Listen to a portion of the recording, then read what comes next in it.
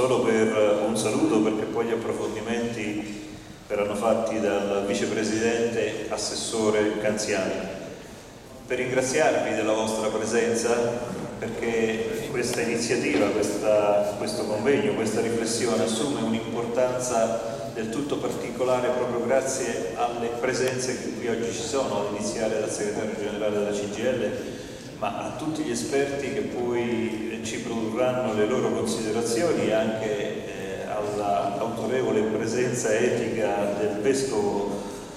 eh, che all'interno della conferenza episcopale marchigiana segue queste problematiche, i rapporti con le istituzioni, Monsignor Panichelli e del Vescovo Monsignor di Senigallia. E, eh, con tutti voi oggi cercheremo di avere un orientamento rispetto a una norma che ormai è entrata in vigore da due anni attraverso il decreto Salvitaria, mi riferisco al famoso articolo 31, prima comma che introduce le liberalizzazioni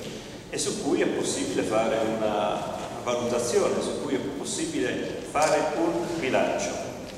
Un bilancio che, come diceva ora il sindaco, ci porti a fare tutta una serie di verifiche su che cosa è accaduto, se effettivamente questo decreto, decreto ha prodotto quello che ci si auspicava che sarebbe accaduto, ovvero un incremento dei consumi, un incremento dell'occupazione, una capacità di allinearci con quello che altre regioni europee hanno fatto, eh, un maggiore equilibrio tra le diverse forme di commercio, e vedere se tutte queste cose sono state realmente eh, realizzate. L'analisi che è stata condotta dall'Università Politecnica delle Marche, quindi dal professor Gregorio, lo ringrazio tantissimo per il lavoro che fa di accompagnamento e di assistenza con approfondimenti di natura scientifica sulle scelte che la nostra regione produce, eh, ci consentirà di entrare nel merito di questi argomenti e quindi eh, produrre al termine una valutazione che io mi auguro possa anche portarci come conferenza delle regioni. Eh,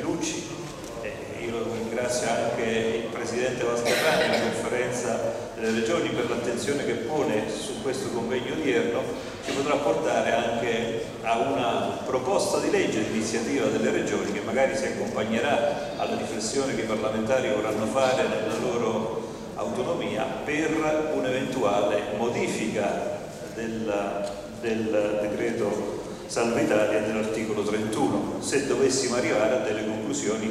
che ci portano in tale direzione. Io vorrei in questo saluto soltanto formulare una considerazione. La considerazione è quella che trae esperienza dall'applicazione della Bolkestein in Europa. Non possiamo assumere un principio di carattere generale come se fosse un Moloch. Non è che il fatto che dobbiamo procedere alle liberalizzazioni inevitabilmente poi ci deve portare a un'applicazione darwiniana di questo principio, perché così non è stato con la Bolkestein. Io ho visto personalmente nelle frequentazioni fatte al Comitato delle Regioni che altri paesi altri governi hanno trattato con il commissario Barnier l'applicazione della Bolkestein in relazione alle specificità territoriali che ognuno di quei paesi al proprio interno aveva e anche la declinazione della Bolkestein non è stata così darwiniana e dragoniana come qualcuno ci si poteva aspettare. La Spagna ci insegna, il governo spagnolo è intervenuto presso il commissario Barnier per rappresentare una serie di situazioni che evidenziavano la differenza con cui quei servizi venivano organizzati all'interno di alcune comunità di quel paese. La stessa cosa non siamo stati capaci di fare noi, che ci allineiamo fideisticamente a alcuni principi di carattere generale,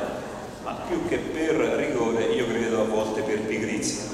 Quindi lo sforzo che dobbiamo fare va proprio in questa direzione. E è bello che questa riflessione si faccia nelle Marche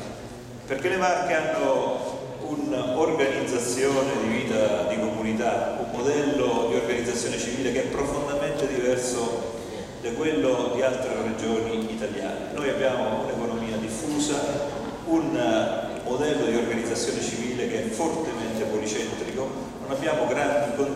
condensazioni urbane, questo sicuramente può essere un vantaggio sotto il profilo delle teorie oggi dominanti, ma può essere anche un vantaggio per introdurre alcuni elementi critici su una riflessione che rischia di essere molto appiattita. Ecco perché allora è importante la riflessione che ci sarà introdotta dall'assessore Canzian e dal professor Gregori, perché è una lettura che in qualche modo prende in esame il problema da diversi punti di vista e cerca di arrivare a delle conclusioni che possono portarci anche a delle interpretazioni differenziate in cui esistono delle motivazioni che possono far applicare questa normativa che è un principio secondo esigenze che sono più legate al territorio, più legate alla differenza dei territori. Del resto questa Europa che tutti abbiamo voluto è un'Europa che non si presenta secondo un principio di gerarchia, secondo una logica di attuazione e di applicazione delle norme che dall'alto ricadono verso il basso. È esattamente l'opposto. L'Europa ha fatto la scelta della sussidiarietà, la seconda parte del trattato di Maastricht, che è quello che ha introdotto l'euro, parte dal principio di sussidiarietà e l'Europa afferma sempre e costantemente che la forza di questo continente sta nelle sue differenze. Allora, questi principi di carattere generale dobbiamo trovare il modo di poterli applicare secondo una logica di articolazione e di differenziazione che rispettano i cittadini, le comunità e la storia delle comunità e trovare le motivazioni per poter arrivare anche a una declinazione in sede legislativa che tenga conto e in considerazione di queste esigenze. Io sono certo che attraverso la riflessione odierna arriveremo a questo e quindi anticipo anche le conclusioni,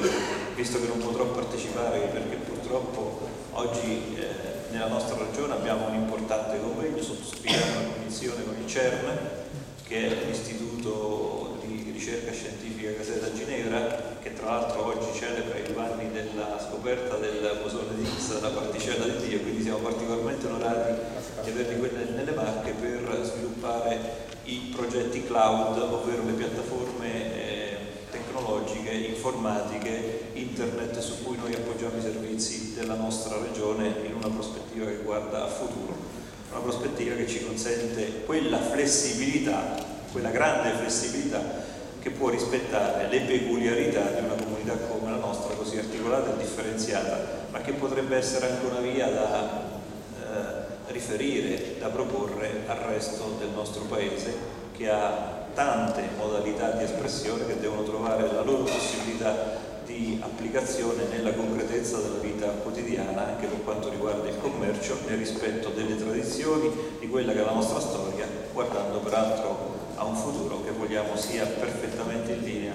con quel valore fondamentale che abbiamo sempre evidenziato nella nostra comunità, che la crescita e lo sviluppo deve avvenire senza fratture, senza la rottura di quel processo di crescita che insieme abbiamo sempre saputo costruire nella vita e nella storia della nostra regione. Grazie a tutti.